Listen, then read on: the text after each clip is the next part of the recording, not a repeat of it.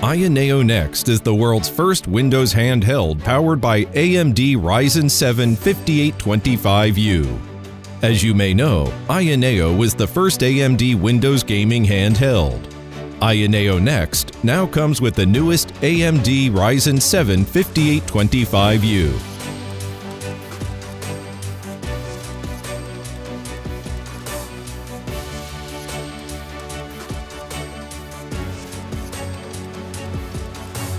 4800U to the 5800U today, we can't express our appreciation for AMD.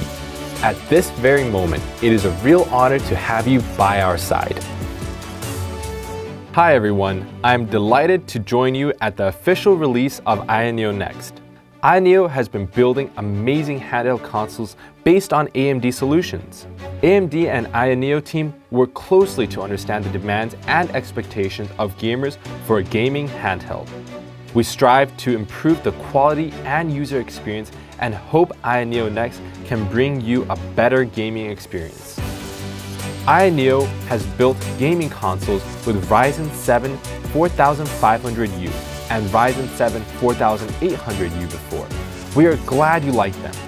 Today, I am so excited to tell you that Ayaneo Next is based on AMD's Ryzen 7 5800U with 8 cores, 16 threads, and the Radeon graphics, which is much more powerful. It is the best for video games.